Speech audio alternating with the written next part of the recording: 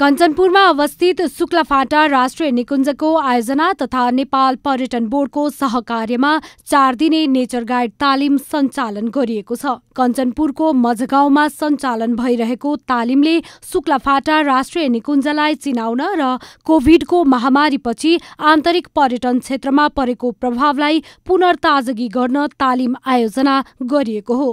नेपाल पर्यटन बोर्ड ले यो र यहाँको नेचर गाइड एसोसिएसनको सक्रियतामा यो तालिम भइरहेछ। र अहिलेको यो कोभिड पछिको सन्दर्भमा अहिले जो मुभमेन्ट भएको छ र खास गरी डोमेस्टिक टुरिज्मलाई अलिकति रिभाइभ गर्नुको लागि पश्चिमको सुदूरपश्चिमको मजगाउँमा शुक्ला शुक्लाफाटामा त्यसपछि बर्दियामा यो कार्यक्रमहरू राखेका छन्।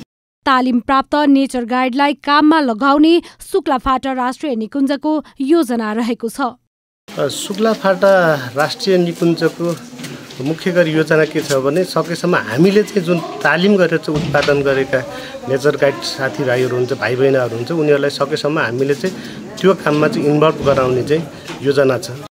कोरोना भाइरस जोखिमका कारण भने जति पर्यटक भित्राउन नसके पनि तयारीमा राख्नका लागि नेचर गाइड तालिम सञ्चालन गरिएको हो।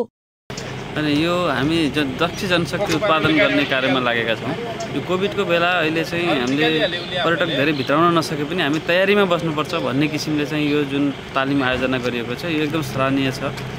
शुक्लाफाटा राष्ट्रिय निकुञ्जको आयोजनामा माघ अठाइस गतेसम्म सञ्चालन हुने चार दिने तालिममा शुक्लाफाटा राष्ट्रिय निकुञ्जका सीमावर्ती क्षेत्रका पच्चिसजना व्यक्तिहरू नेचर गाइडको अभ्यासका लागि सहभागी रहेका छन्। कञ्चनपुरबाट धर्मराज कठायतको रिपोर्ट।